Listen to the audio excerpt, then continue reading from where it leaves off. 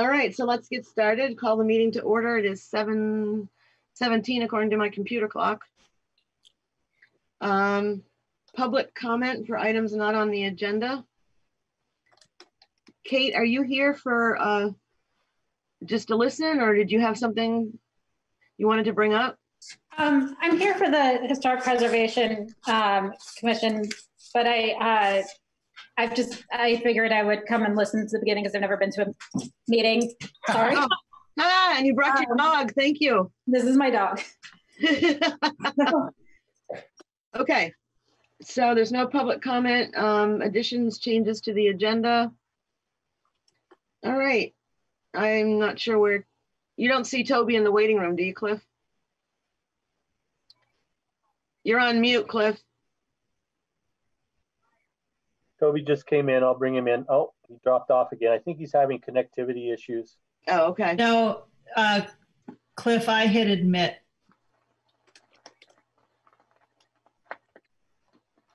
Got a Toby backseat should be driver. No, joining us. Cliff, Cliff, I admitted him. I understand. I'm making sure he can hear us. Toby, are you there? Oh, he's connected. His connected. audio's not connected yet. Now he's on. Toby, are you there? Hey, Toby. Hello? Hi, it's snowing. Yeah, what else is new? I know. Lovely.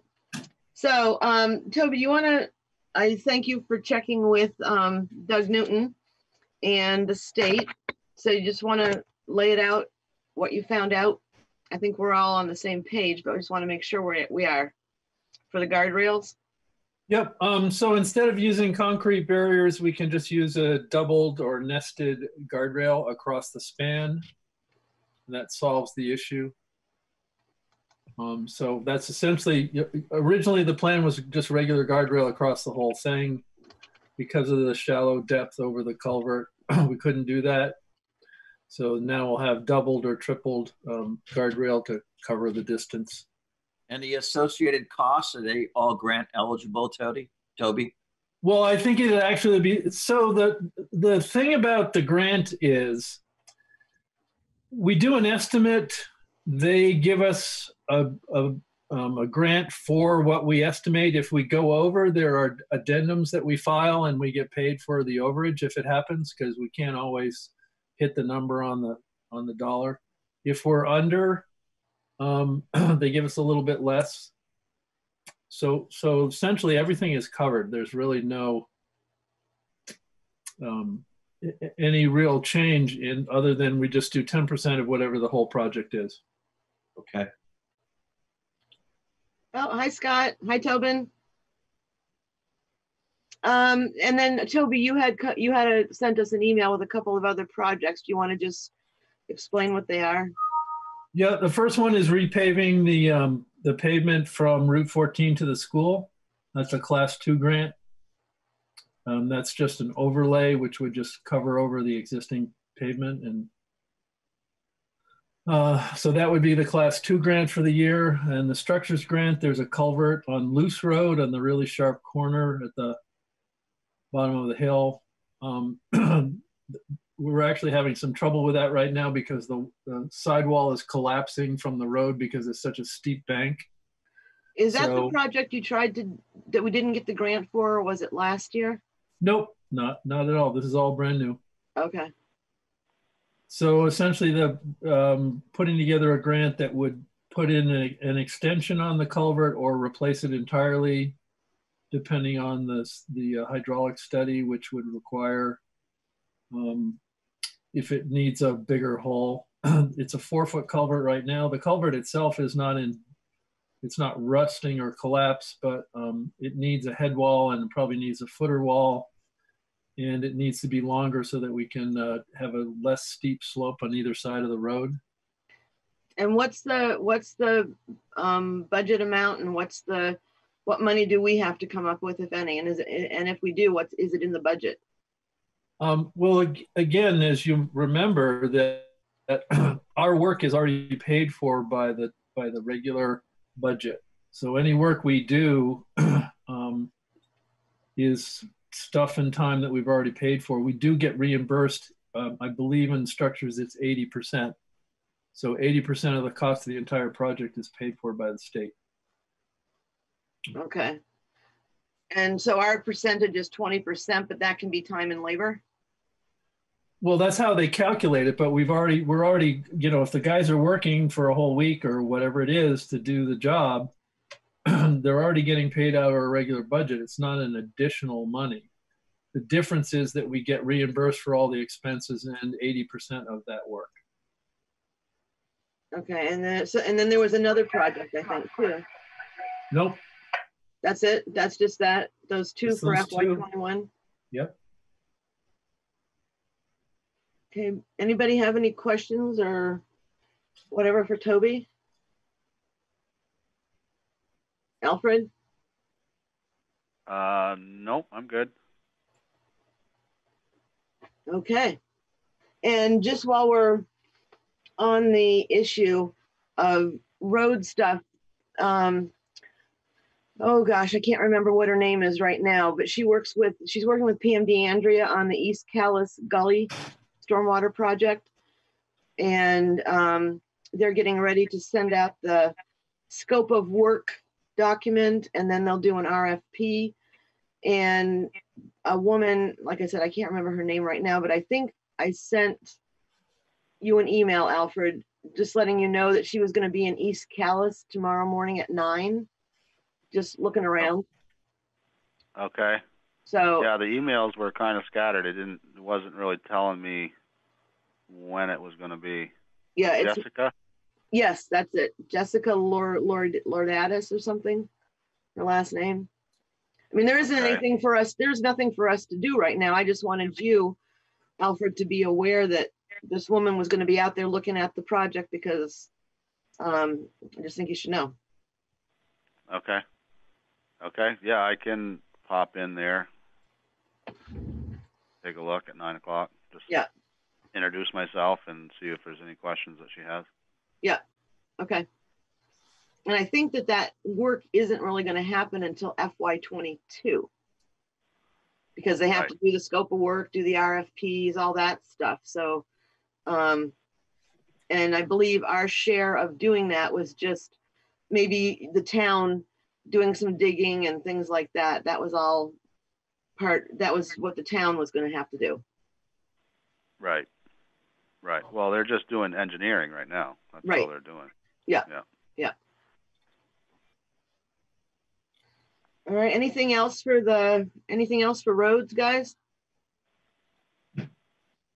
Um, nope, I don't think so. We're trying to grade when we can. Today was a rainy day, so we didn't grade, but, uh, and we are gonna try to put the, start putting sand up this week.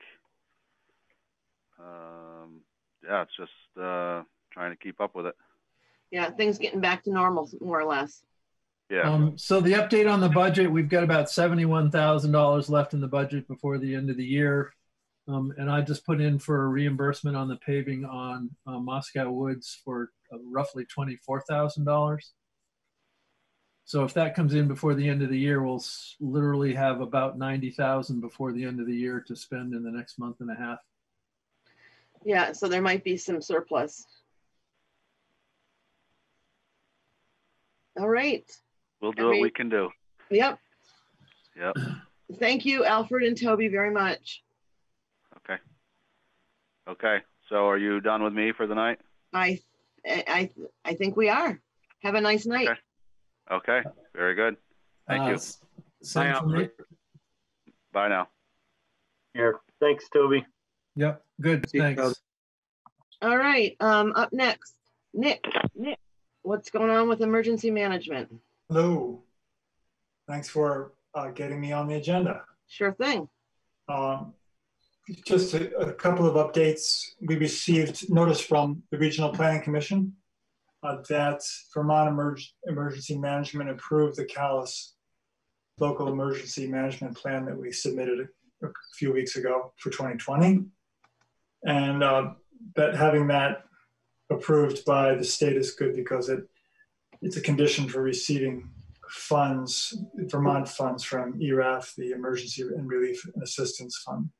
So And is that, and is that where we, Nick, is that where we submit or log, um, that portal to put documents in for reimbursement? Is that the same thing? No, uh, that's, well, FEMA pays seventy-five percent of the reimbursement requests that we make. And then these um, ERAF funds from Vermont can pay um, typically, over- well, for Cal's twelve and a half percent of the remaining uh, twenty-five percent.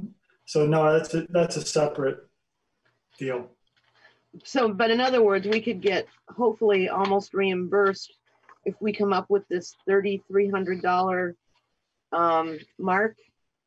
Yes, um, I'll talk about that. The, the the FEMA portal, uh, we got set up last week for reim- requesting reimbursement for COVID-related expenses.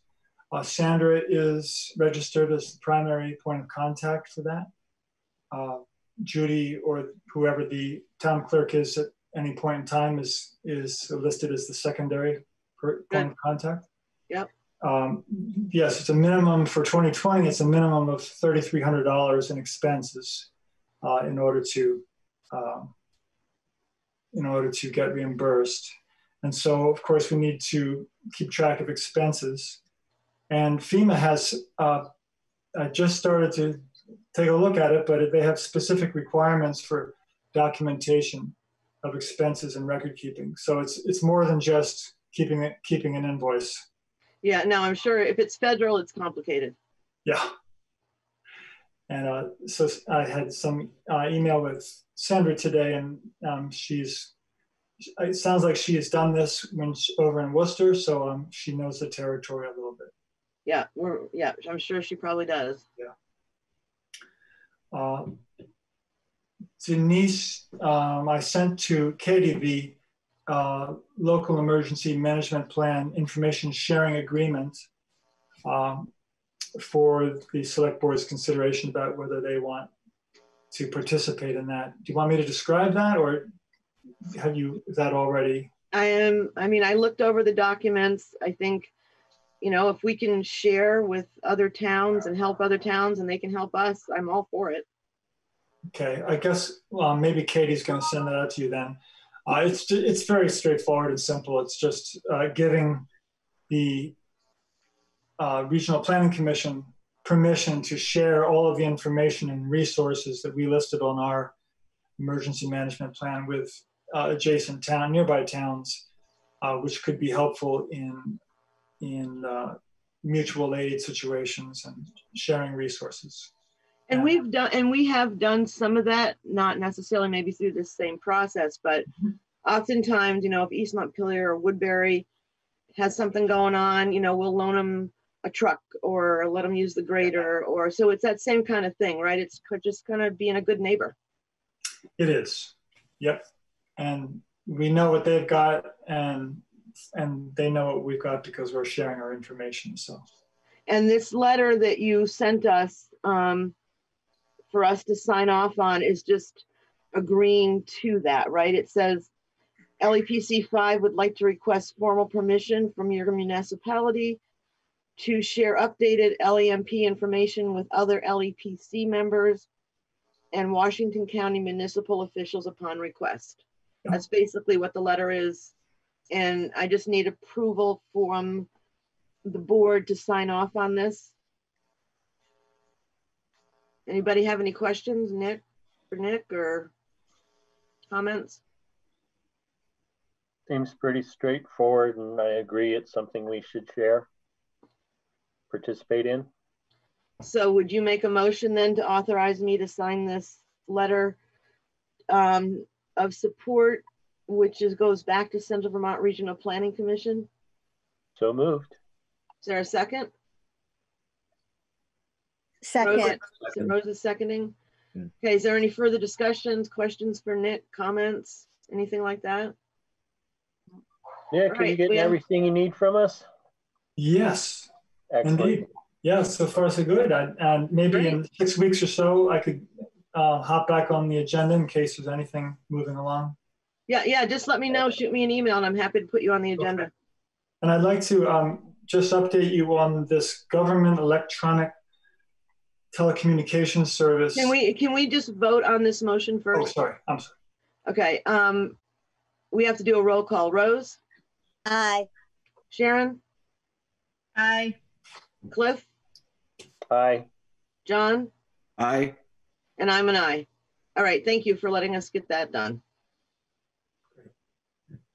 So Um, the motion's the- approved. Go ahead, Nick.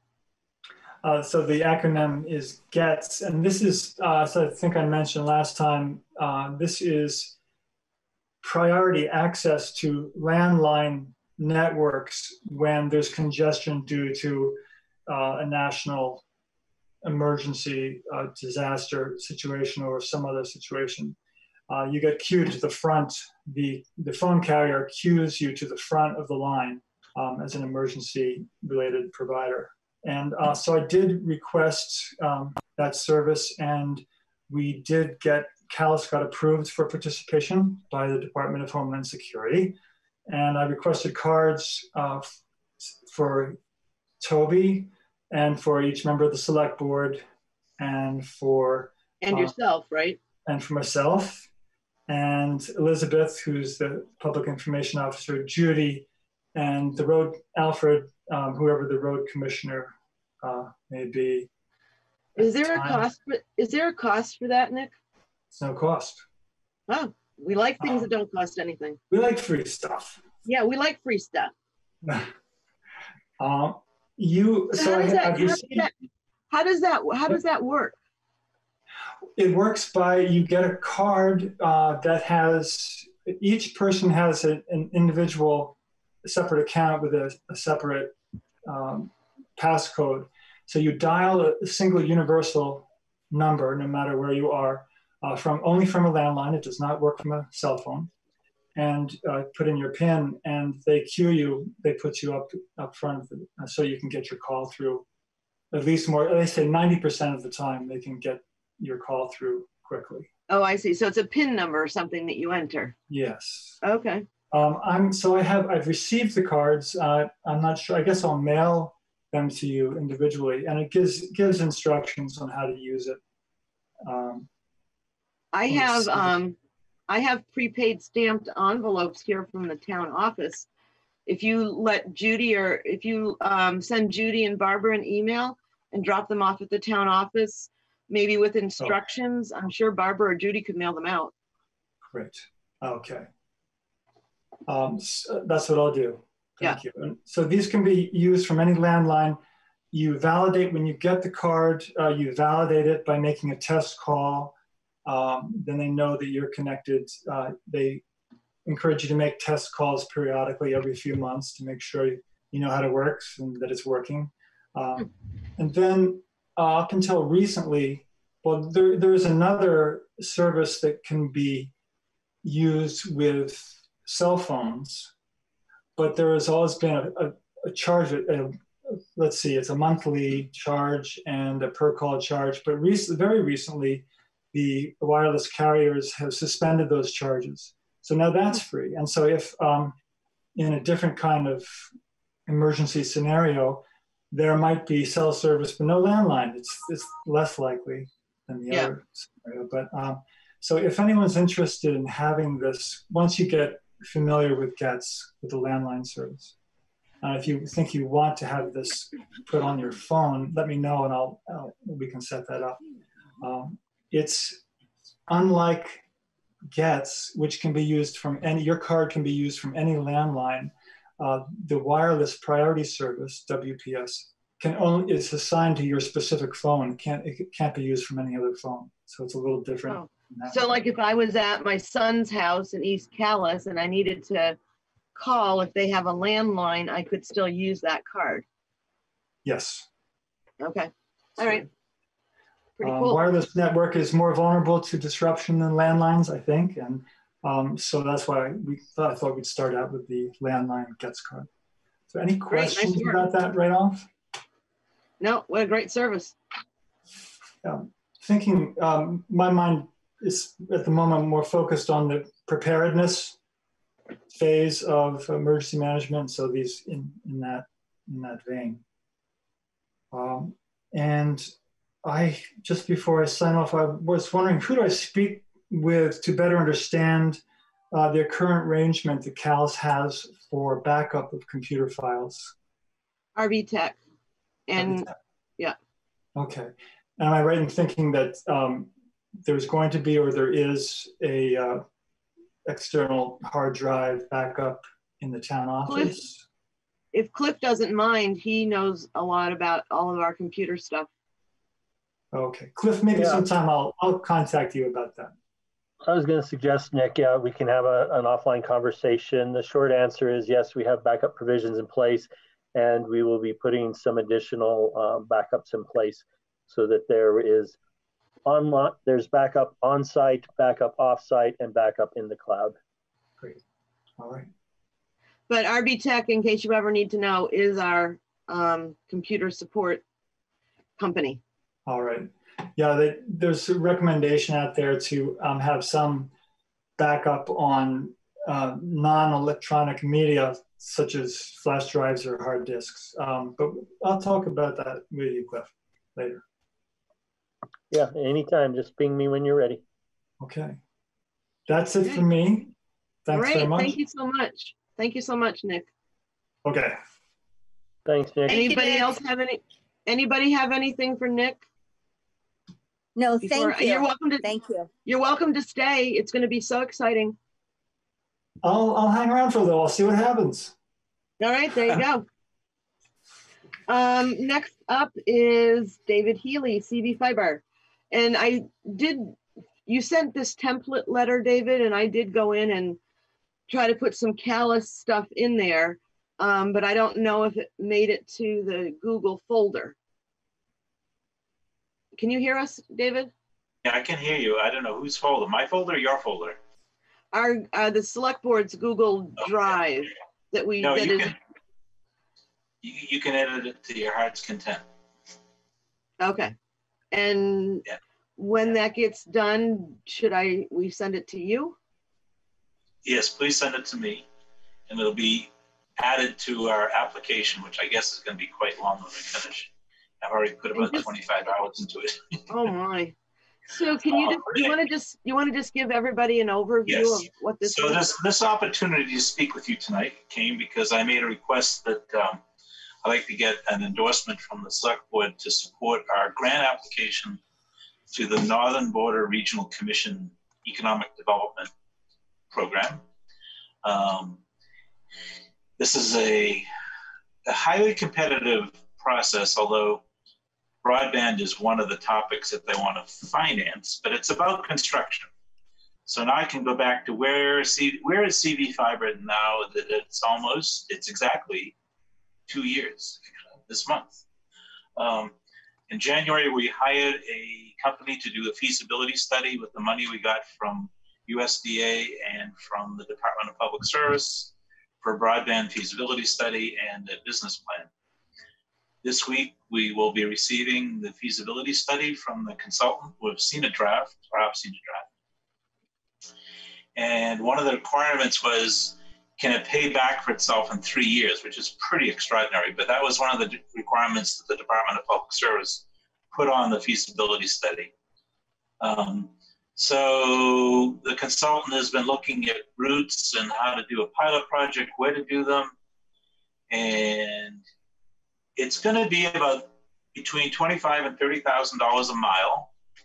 Uh, it's not cheap, um, but we are confident, or they are confident, that we can do it by underwriting it. We don't believe that in the first two or three years we'll be able to serve every house, which is the goal. But the consultant is also looking at uh, putting up radio radio Wi-Fi, similar to what Cloud Alliance already has, but putting it so that everybody gets something if they're not on the broadband, a high-speed internet. They deliberately didn't look at uh, routes that had a lot of cable, uh, cable, but and, and the way they looked at it was some places they had to use go through areas that cable. Um, so Calais is one of those weird places which has cable, but then has a lot of unserved addresses.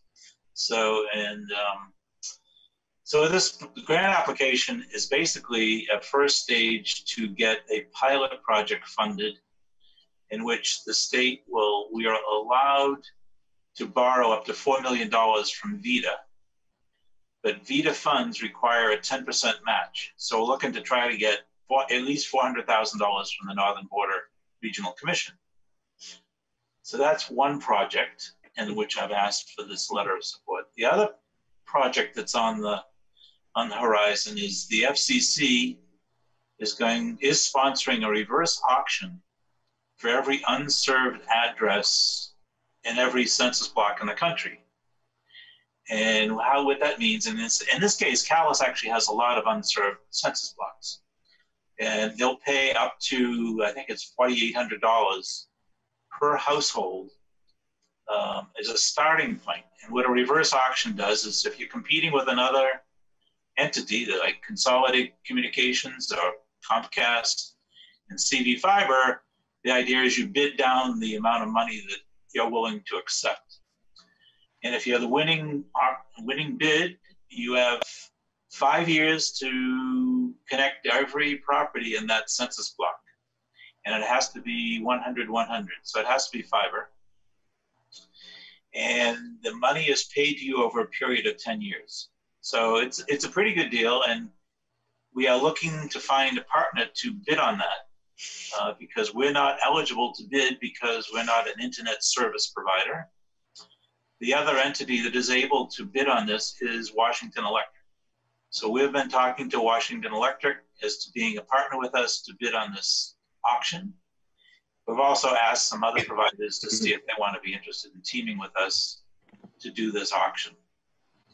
The third pool of money, which I think is sort of speculative at best, is the uh, anticipated infrastructure money that Congress is supposed to talk about this year, which I'm not sure it's going to be talked about till next year. And even then, it's unlikely, but um, or it's possible.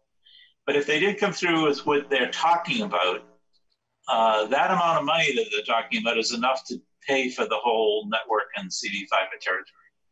I, uh, I don't know why I'm so skeptical, but I always find opportunities in which they say, "Oh, you're going to get something," and it's not.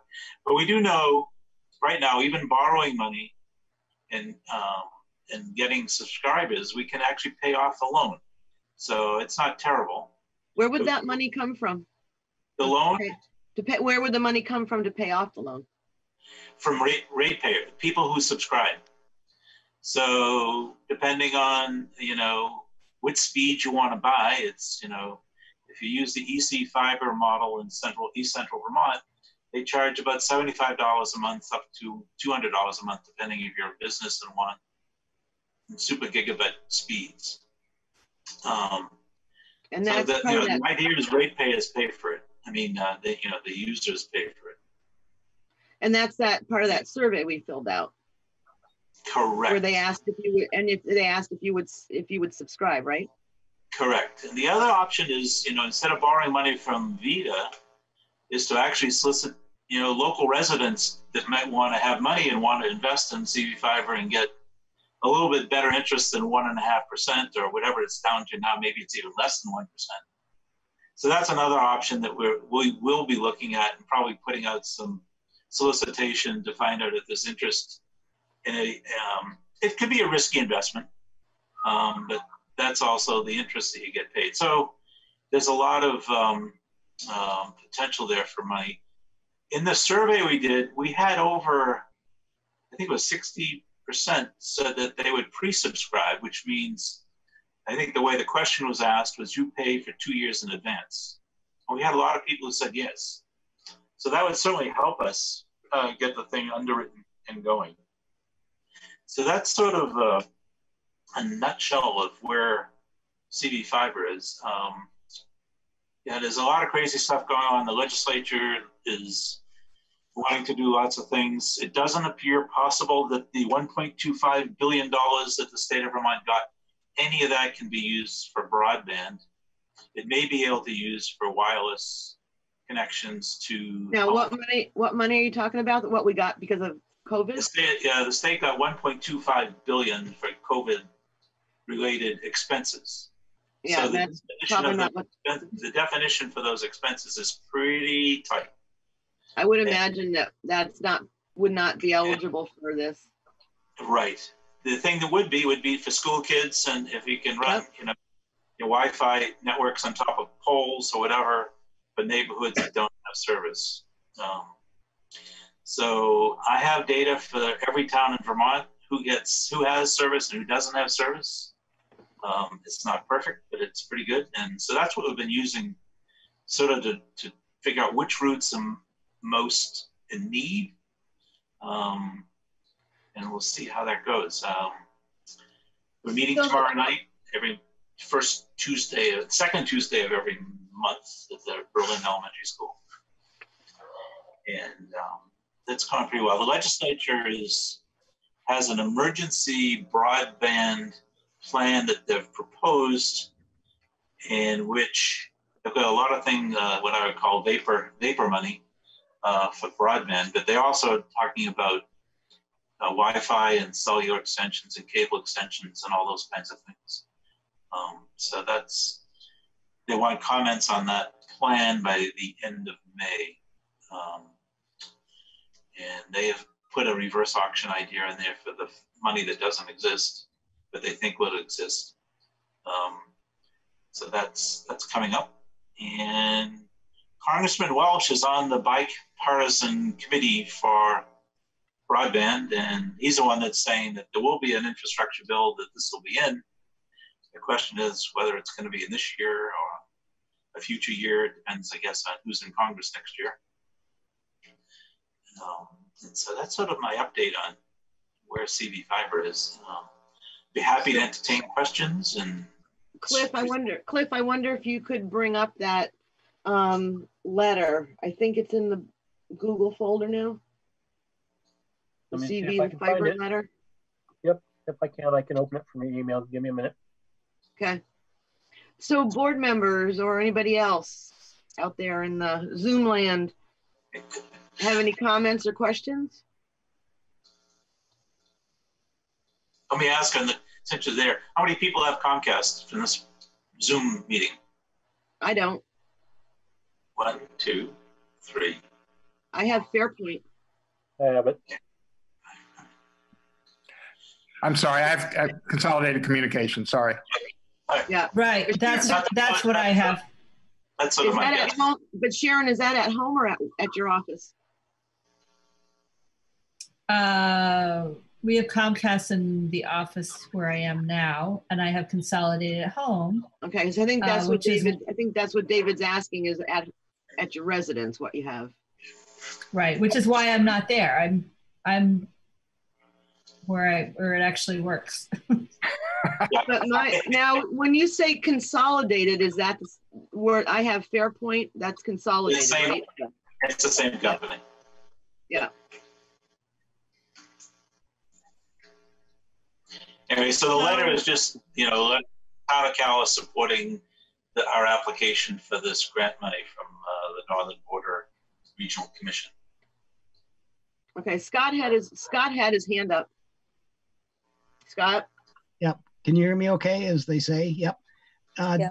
David, how, how, um, how are you going to decide where to begin on the project? Oh, Scott, you had to ask that question. The way, the way the consultant did the, uh, they did six routes, uh, proposing six routes. And they based their recommendation for a pilot project on where they thought they could get the best take rate to underwrite the payment of the, uh, the infrastructure. So it, it'll be interesting to see what the board decides if, you know, there's, it could produce, you know, could choose any of the other routes. My, my preference is that we go for the whole enchilada and we do all six, all six routes. Of which I should just let you know that a good chunk of Calais is in that. Hmm. So, Okay, including the worst section, worst served areas of Calais. Which are, which are where, David? Oh, East Calais and North Calais. Yeah, okay. Um, so when do you need this letter by? I need this by the end of the month. I need it by uh, May. I need it in my hands by May 29th, so I can put the package together on June on Sunday. So I have to do a compiled PDF of every piece of the application. So Okay, so I don't know if, um, but that's the date. I don't know if board members have had a chance to look at this yet. I had, like I said, I started to kind of go through it. Um, and I had a couple of questions just to start off. The bat was, um, our property values have remained lower than our neighbors. Yeah, I don't know if that's true. I don't know if that's true and how we would know that. And then I, I actually, I found a couple of typos, but um, I didn't focus on, I didn't focus on those right now. It says the new norm is high-speed internet at every premises. Would not the word Yeah. should be resident, residences? No, because we're talking about organizations and businesses and schools and everything. So the, the generic term is pres- premises, premises. Really? Yep. Okay, I learned a new use for the word premises then. Um, and, and this, if this goes through, does that mean that, and WEC's a partner, that little dish things, or I don't know what you would call them, little things would go on the top of phone, um, um, electric poles? Yes. It could be some of that uh, to reach the, basically the one, that you know, if it's going to cost, you know, $29,000 a mile in serviced areas, if there's one house and a house, in, you know, and there's no other houses on that road, they may be serviced by a, a little thing, maybe a couple of things on top of poles, yes. And that would be only, that would be interim. That wouldn't be permanent. So the idea is it would be buried fiber optic then? It'd be strung on the pole. And the reason to team with Washington Electric is that if the fiber can be strung in the electric space on WEC's poles, we don't have to pay any leases. And Right. they, and Washington Electric itself is thinking of doing the fiber themselves and then leasing it to CV Fiber because they know that they are going to need fiber to everybody's home just to do management of electricity. Um, Wow. And they also know that the, you know how they currently collect the um, information for the billing system? I That's don't know, I don't- have, I don't have WEC, I have Hardwick Electric. oh yeah, you're really lucky. Really? No, I was gonna say the power goes out just like it could go out right now because it's snowing. yeah, no, the um, they um, their wi- their wi- Wi-Fi data collection system is basically failing. It's an old technology that's not going to last much longer. Huh. So they're, they're in a, an interesting place. The other thing the pandemic has done, you know, from the standpoint of future planning, and Nick is, I don't know if Nick is still here, he may have dropped out. But from an emergency standpoint, this is um, who should get fi- who should get high speed internet access, and is it a public good, and should it go to everybody? And those are going to be discussed. I think you're going to have lots of new discussions in the next two to three years on this whole topic. And uh, Well, especially when you've got all these kids trying to that's right. do remote learning, you've got all these parents also trying to work At the at the same same time. time. Yep. I, I can't even imagine the chaos that must be in some of these houses. Yeah. So anyway, that's sort of my story. And I, I'm sorry I haven't been to the board in a few months, but Well, I know when you're, when, when you need to update us, you let us know. Yep. Okay. Um, so you just do this tonight or not. And, uh, you know, if you can get it to me that by the 29th, that'd be great. Okay, so maybe we can just, we can work on it between now and then and, and get it to you. You have another meeting. Board members, is that, board members, does that sound like a plan that maybe we, you could review, we could all review it? And, and when we next meet, um, come up with the letter and then we can get it to David by the 29th. I think we're gonna try to meet not on the twenty-fifth, because that's a holiday, but the twenty-sixth. Yeah, I think that's realistic. Does that sound like a plan? Works I for me. think it's good, if not Sounds good. sooner. I mean, I, I think that the letter looks really pretty good. Fix a couple words here and there. Yeah, And I think it's good to go. okay. Hi, Ruby. Ruby's all wet. She's got full of snow. Okay. Anything else, board members? John, did you have anything? Any comment? So, can you guys be quiet, please? Um, so I do have a question. How much of this is going to be uh, hardwired? How much is anticipated to be the broadcast uh, Wi-Fi technology, David? Um, the goal is, you know, wired uh, fiber to every home. In the short term, if we have a five-year or eight-year plan here, the initial, our consultant thinks that we should be trying to serve as many people as possible as quickly as possible, which would be the the, the Wi-Fi technique. Um, I couldn't tell you what the how long it would last or how many people would be on that. Um, we probably will be in when we start doing the engineering planning on this thing, which we need this money to do. Um, but the goal, I mean, it really depends on money. I mean, if they're going to give us a lot of money next year, we can bring fiber to every house. Um, they, will they subscribe? That's another question. So, so our installing Wi-Fi for the last half mile or 100 yards or whatever, I think that's what you're going to try to do. Yeah. mhm. Um, that's not going to limit our ability to get future funding or to, to, is, is it going to cause uh, attention to be redirected away from us? I, I mean, Oh, fiber. that's a good fiber's question. what we John, want. I don't. I mean, the district is, you know, that would not be the district's intent. Our district intent is to bring it to everybody. So as long as there was a revenue stream, a revenue positive stream, and EC Fiber, which has been in business for eight or nine years, they are cash flush right now. So when they go out, they're bringing fiber to every house, regardless of how many houses are on the road. So, you know, saying, you know, in five years, it'll be a different story than tomorrow. So that's, you know, the best I can say at this point. Okay, thanks. I mean, one thing is, you know, if we run fiber by somebody who has Comcast, what's the likelihood of you switching from Comcast to CV fiber? We don't have no idea. And um, It'll So be cost and service dependent, obviously, right? you know, I, I the, the range is going to be fifty to seventy-five dollars. So if that's all you're paying to Comcast, you know, it's a it's a toss-up.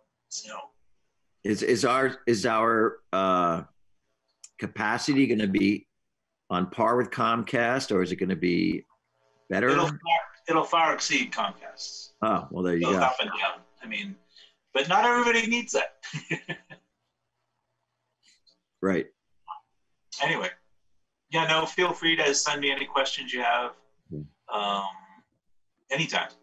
I, I just I just want to make note um, that we had a fairly uh, well, we had an ordeal in the northern part of town regarding what broadcasted Wi-Fi internet, um, and there were VTEL, what's that? Yeah, the VTEL one. VTEL. So VTEL is still selling its wares. Yeah, well, I saw my I I I expect the concerns of the residents back then could be very similar if we're gonna if we roll out Wi-Fi. I, I told I told the consultant that he was doing this. I says you're gonna have a lot of people not in my backyard. And his projects that he's been doing in Western Massachusetts have been on wooden poles, 60 to 70 feet. Um, so a wooden pole 60 to 70 feet is too much for people, then it might be tough. But those are gonna be little, little, like, little dish things or something? It'll be an antenna on top of it, uh, running around it. Um, it won't be beautiful, but it's not going to be, you know. I mean, it. We'll have to see how it goes. I mean, if you don't like 75 feet, then you have to put one, you know, every. you you have to run more more of them around. It's all, and everything costs money. So Right. the one the one thing that we're looking to do is to make sure we have fiber to those poles so that we can actually extend when we when we go forward. Um, so that's And sort of the and plan. not and one last thing, you you did mention North Calais is underserved. Um, speaking with residents uh, this past, well, yeah, this this winter up that way, it, it's horrific the Wi-Fi. I, I think maybe there's a lot of demand on a on a weak line, uh, but when people all get on, they, they basically shut down. They, it's it's Yeah. exacerbating. Like people just about in tears. You know, So I don't want any, I don't want any murders. Yeah, no, if you're at the end of a DSL line, you're really suffering because Right. I don't know where the box is in East and North Calais, but like in Maple Corner, there's a DSL box right in Maple Corner. Now, as you go away from that box, it, de- it degrades totally by distance. And East Calais has a real problem up on Batten, I think it's Batten Road, maybe? Yeah, I think you're correct. Yep. Yep. Anyway, let's hope we can get this thing done quicker. They should get priority. You know, in Yeah. terms of the first rollout, if Yeah. And when did you say the first rollout, rollout might, might could happen? The plan would be to start the engineering this fall and have the construction next year for the first, first whatever. Yeah. And And how would, and how would you communicate? How does the, how does your board can plan to communicate with the residents? Are you going to do like local um, group meetings? Are you gonna do just front porch forum postings? I mean, how you present? no, I, I, you we gotta do more than that. And one, one, I mean, really, wherever we're running this thing, we're gonna have to go door to door. Okay, And, you know, if they're not home, we'll leave a door knocker, you know, an explanation on the door. so you're gonna not do like VTEL did? No. Remember, we're a municipal entity, That's right, we are. so. Well, it sounds like you've done a tremendous amount of work, you and that, and the board. Thank you so very much. You're welcome. I can't, it makes my head explode just hearing about it, never mind doing it. Yeah, that's, it's a lot, it's intense.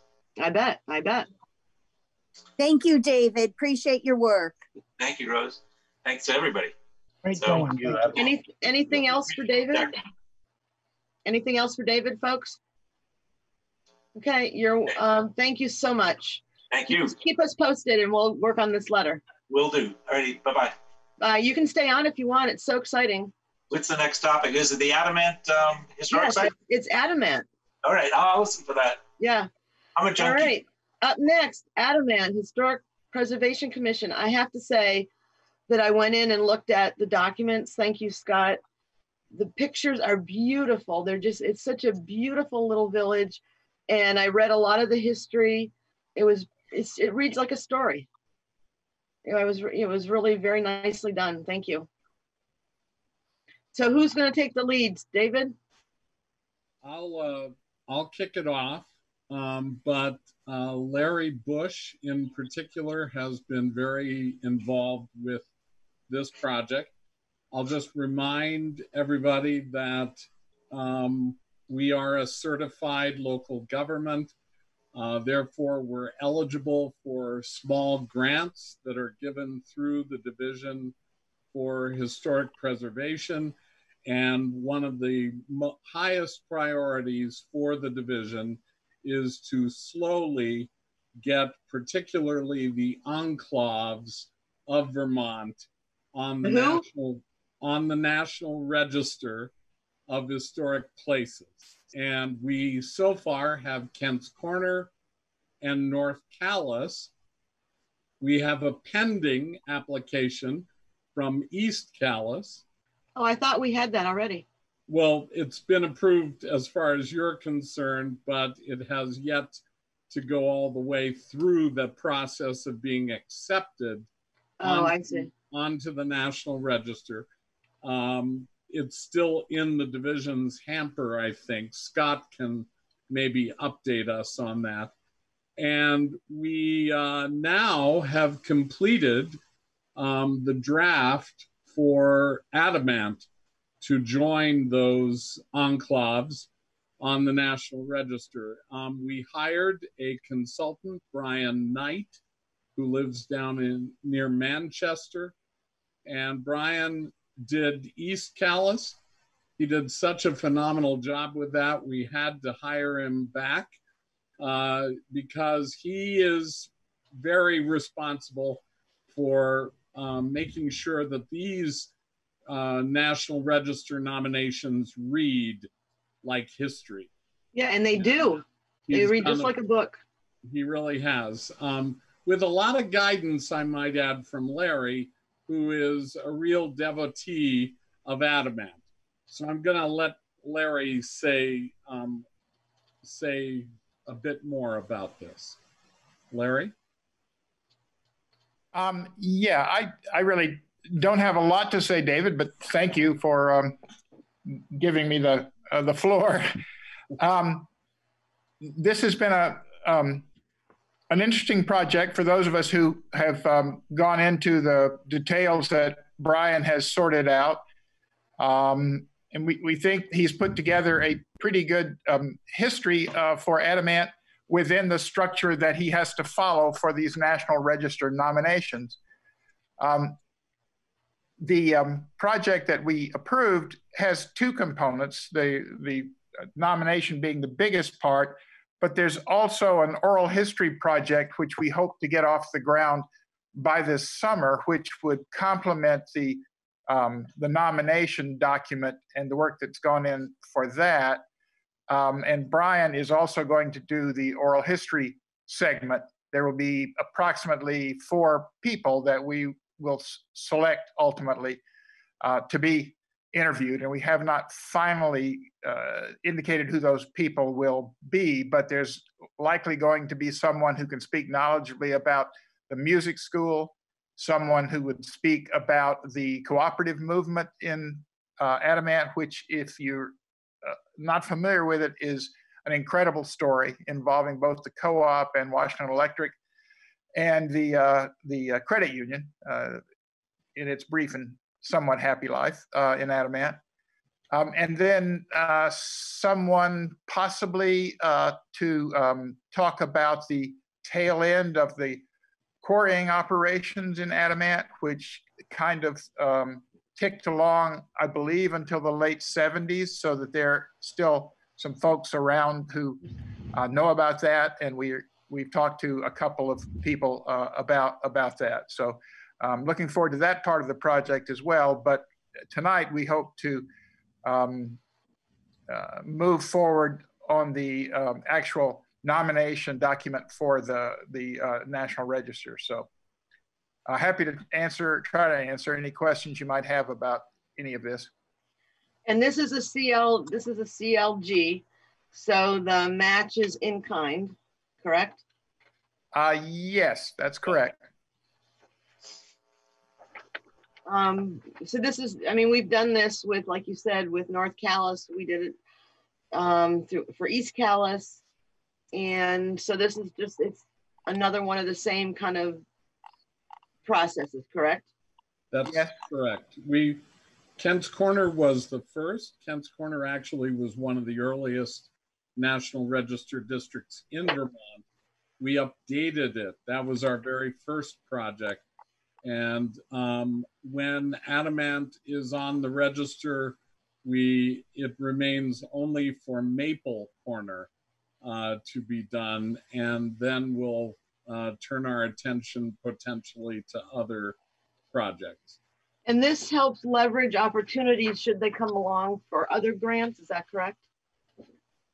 Uh, absolutely. Uh, a good example is the grant that we just got uh, to help in East Calais, which uh, Scott can tell you um, uh, just knowing that East Calais is a pending National Register district definitely adds a little momentum to the project to save the East Calais General Store. Correct. So board members or anybody else in that's on want to say anything? Tobin, Scott, um, Kate from HPC? I don't know what Kate's role is. Kate is a member of the commission in training. Oh, the HPC? Welcome, Kate. Nice to have you. Thank you. Hi. Um, yeah, I, I, just recently moved to the area, um, and uh, I'm a art historian um, and an archivist uh, by training, and um, was uh, invited to to get along to to get involved with the commission. Um, so I've been to the last couple of meetings, mostly um, kind of in a listening capacity and I'm looking forward to uh, continuing and to get further involved. Great, great. Welcome to Calais. Glad to have you. Thank you. Where now? Where do you where do you live? In, where did you move in Calais? Well, so I'm actually in a kind of transitional moment. I am currently um, house sitting um, in East Calais, uh, right down the road from Scott. And um, I'm actually about to move to East Montpelier as of just last week, um, just right on the other side of Adamant. Um, so, yeah, so And I think I think if I remember correctly, we have a provision that we can have a member on Calais's HPC even if they don't live in Calais. That, So, so you're not so you're not off the hook. That's correct. We we pointed that out. She lives in Greater Adamant. Okay. and Ad- Adamant is one big happy village. yeah, so no, I'm, I'm, I'm gonna be within walking distance from there. So yeah. Cool. That's great. Board So it's been exciting to me. Sorry, and my dog keeps climbing on me. Yeah, well, I have I have one of my cockapoos that is currently sitting on my lap. So Mine's a little bit big for a laptop. Gets very excited by Zoom. oh. Oh, see now you can hear her. She's talking to your dog. Okay, board members, do you have any questions? I'll go, I'll go first. Um, I didn't have any questions. I just, um, wanted to thank the Historic Preservation. Um, I read, I spent the whole afternoon reading this whole document from beginning to end. I was so enthralled. I really enjoyed it. Um, and then I sent a complimentary email. Um, and I live in Greater Adamant for the past 35 years. Um, was heavily involved in the Adamant Community Club and um, for about 15 years. So um, I just, I was so pleased to read the application. I think it was really well done. And I just want to thank you.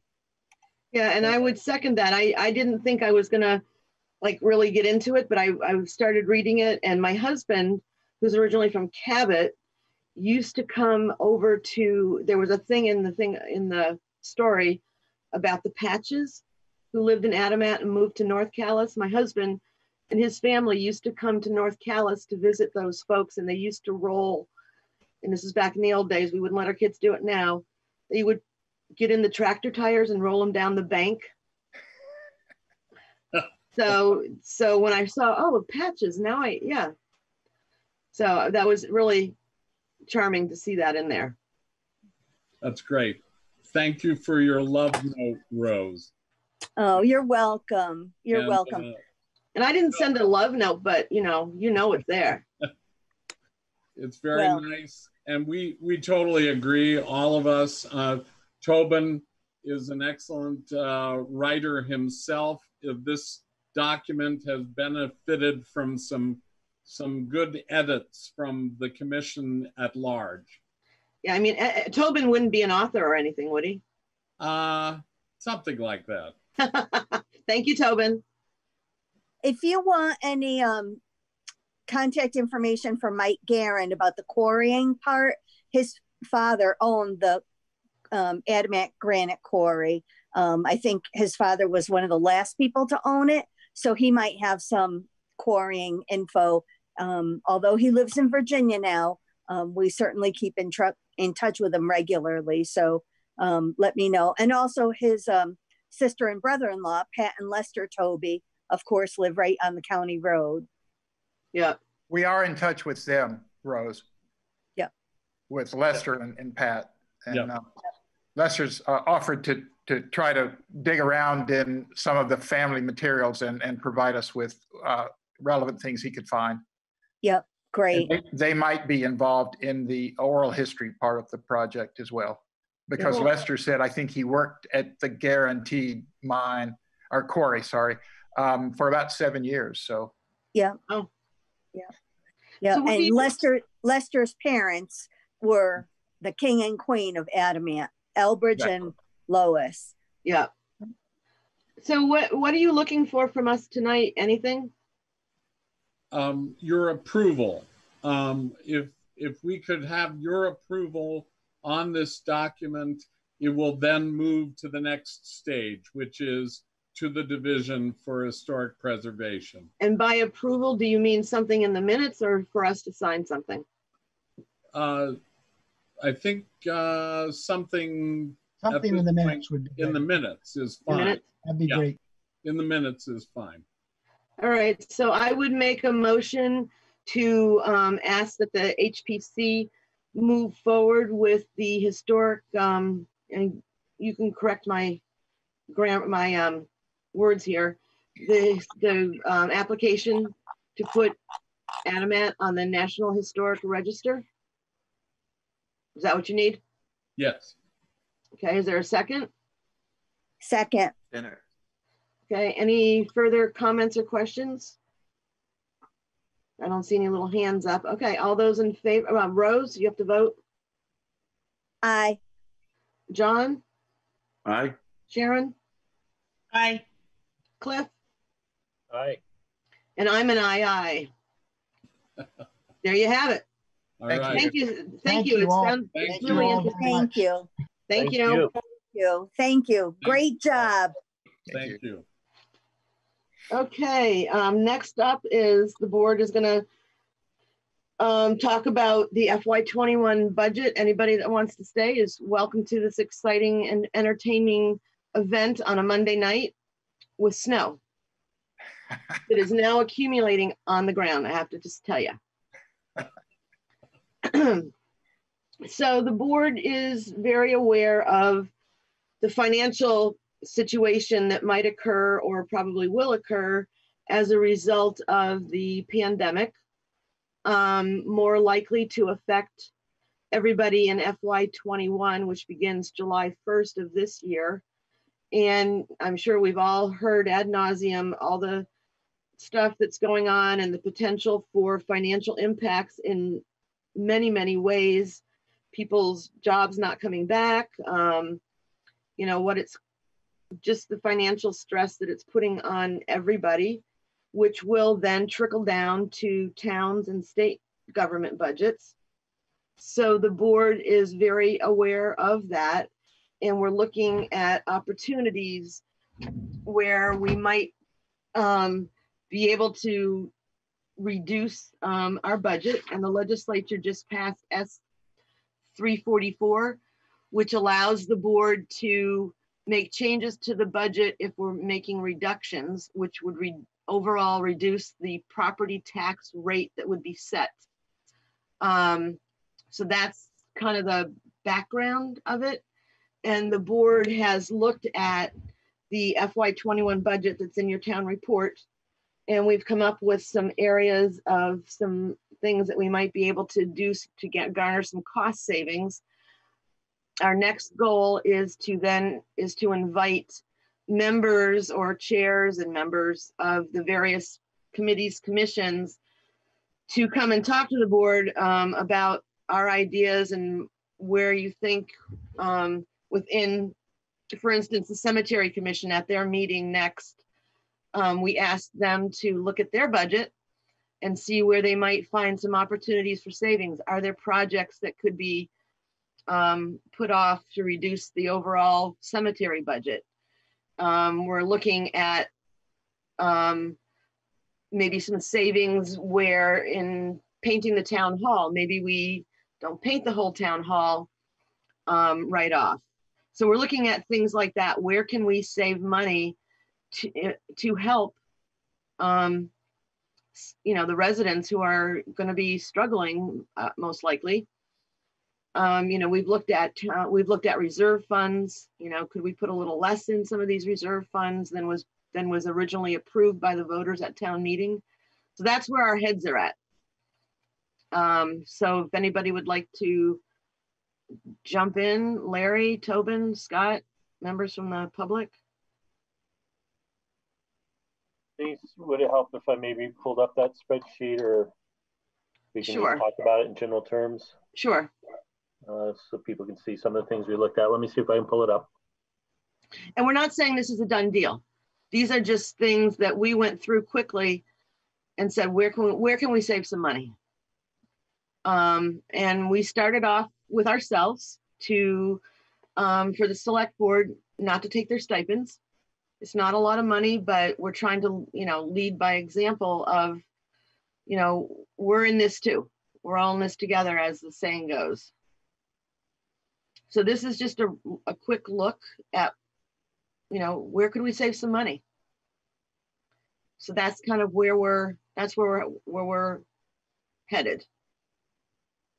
And Denise, I just want to underscore the point that you just made that this is a this is a first run. We might decide um, we need to save more. We don't need to save this much.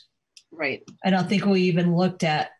We didn't even get so far as really figuring out what does this mean to the tax rate. What is it? How does it compare to last year's budget? We didn't even do that much. So No, I mean, we're, this is really, thank you, Sharon. This is really in its infancy. We just felt the need as a board to be very cognizant and caring about the taxpayers and what they're going to be up against. You know, this is a great community. Everybody cares about everybody. Um, and I think it's in our nature to be looking at things like this to figure out what can we do. So anyway, so that's that is like this is that what you see is like the very first look. And like I said, it's not a done deal. Um, you know, that could change and you might and you folks take out your town report. Look at it yourself. If you have some feedback of, you know, why are we spending this much money on this or could we save on that? Please let us know. I mean, we can use all the help we can get.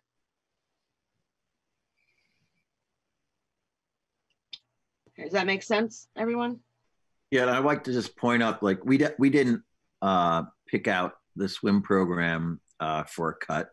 We, we're going, we've asked them if, what they expect to see this summer in terms of needs. Um, At the time of our conversation, we, when we discussed, for instance, the swim program, uh, the edict from the governor's office would not have allowed a swim program were that to have continued into the summer.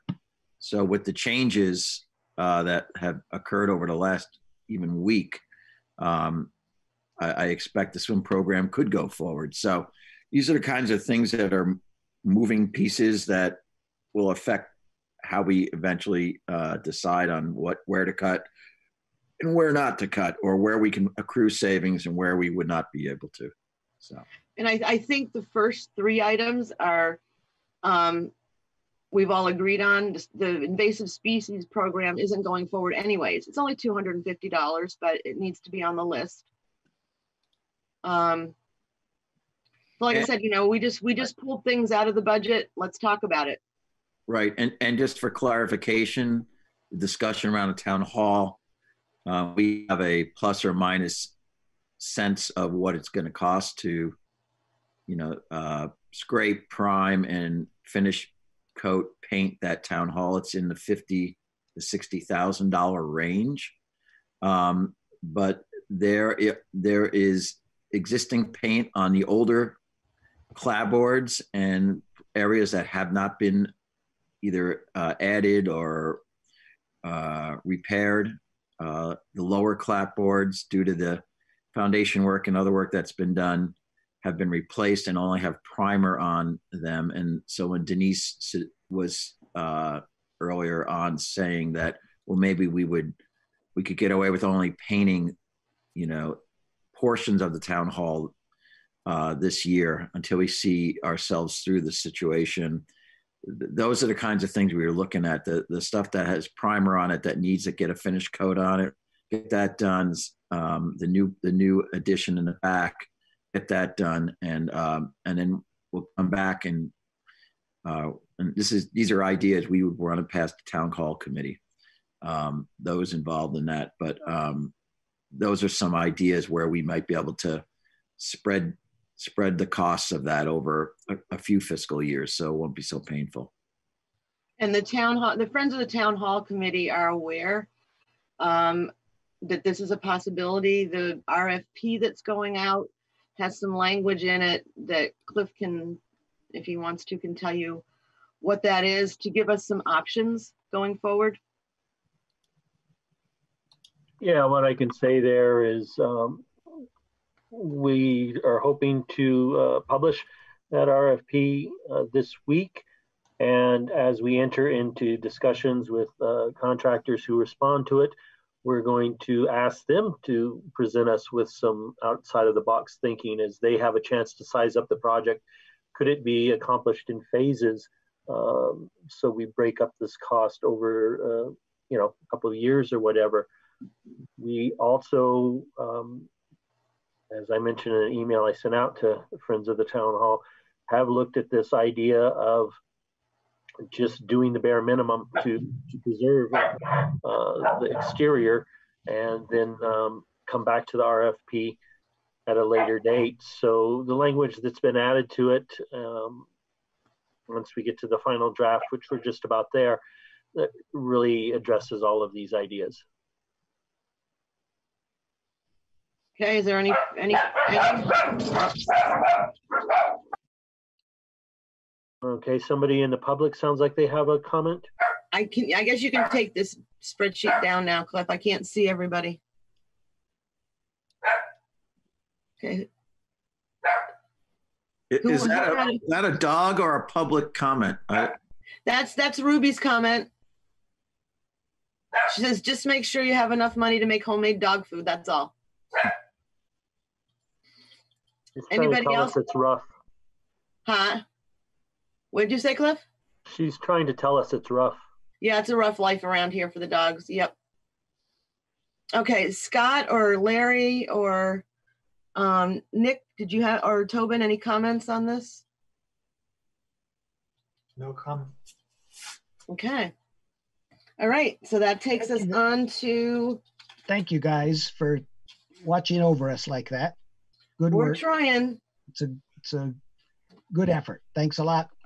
Yeah, Oh, we're not, we're not done, Scott. no, we're not.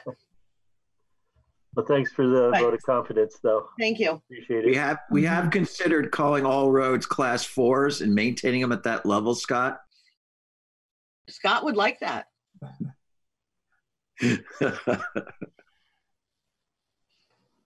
Um, Larry? Yeah, if I might, I just had a question. The, the list that uh, Cliff put up um, indicated, if I understood it correctly, that the wood chipper that was approved uh, is not on the chopping block, so to speak, right? I mean. No, it it is, it is on the, it is on the list. Oh, uh, okay, so that meant that it was, was going to be removed. Okay. Um, Well, uh, It's up for discussion. it's perfectly understandable. We are quite possibly, uh, well, although I don't think we're going to see serious emerald ash borer um, destruction soon, but Calais is right on the doorstep. If it's not here, it probably is here. So uh, eventually, that wood chipper could be an important part of the um, town's um, need to deal with the dead uh, ash trees along the roads. So Good point. Think We'll need it. Yeah, good point. Thank you, Larry. Anything else? Are you ready to move on? Um, Cliff, do you want to, do you have any IT update? Uh, nothing major. It's pretty much uh, as reported last time around. We're just waiting for the equipment to come in uh, to do the get the backups set up in the server, a replacement server set up before we schedule actual dates to make that happen. And I already, um, yeah, that's pretty much it. That's all we got right now. Okay. All right. Um, I was just gonna give an update that I, I, I talked to Daniel Kearney, Kearney, who is now the, the main contact for the swim committee. Just because I got to thinking about the whole thing with summer camps and social distancing and all that, to ask them if they had thought about, you know, would they be able to even go forward with the swim program? And they're still, that's still under consideration and review by the swim committee, whether or not they can successfully pull it off. And also, um, they're having, they're really trying to find an instructor, which is not, I guess, been an easy task because the only place to go now for training, and I think he said it was like Hampton Beach area, So if somebody wanted to be certified to be the person doing the swim instructor, they would have to go pretty far away to a pretty maybe undesirable place at the moment to get training. So they're weighing those two different issues. And at some point, you know, at some point they'll make a decision and get back to us. But, you know, it might, swim program might go forward or it might not. And, you know, we'll have to deal with that then. Um, I think, I think that was it. Was there anything else? Seems like there was something else I had on the agenda, but I can't remember now what it was. To update on. Larry? You're on mute. Larry, you gotta unmute. yeah, yeah. Just wanted to say good night. Thanks, everybody. I'm, I'm out of here. All right, thank you. Thank you, Tobin. Larry. Denise, you had something about um, location for June 24 tax sale under your Oh, right, right. Or your chair. Um, we already, we already Yeah. approved the tax sale in June. You'll remember at a meeting, several meetings ago. I think we were still Okay. meeting at the office. But it's likely that the tax sales will be held at the town hall, just so that stuff can be social distanced better and easier. We don't have the certificate of occupancy yet. So, but, and a notice needed, a notice needs to go out if we're still gonna do them in June. Remember, we pushed it to June. It was gonna be sooner, but we pushed it to June. Um, and I don't I, remember. m- I missed the last couple of meetings before while we were still in person, but that's neither here nor there. Right, and I, Um, thi- so we moved, we, we tried to give more opportunity for folks to pay. So. We're still we we're not there yet, obviously. Right. So, um, one, one taxpayer who is delinquent has promised to start paying by May, I think, I think it's sixteenth. So that will be a good thing. And that's one of those people who Yes. we uh, understand the hour cycle and the life. Yes. Mhm. Yep. And in part why we moved things, push things out. Um, so I think that's it, other than, um, I'd like the board to go back into executive session. If there's nothing else, we agreed to meet, so Katie has it in the notes, because I don't think she was on the call then. Can you do, um, we decided we don't, we're not gonna meet on Memorial Day. Katie, are you available on Tuesday to do the, to join us? Okay.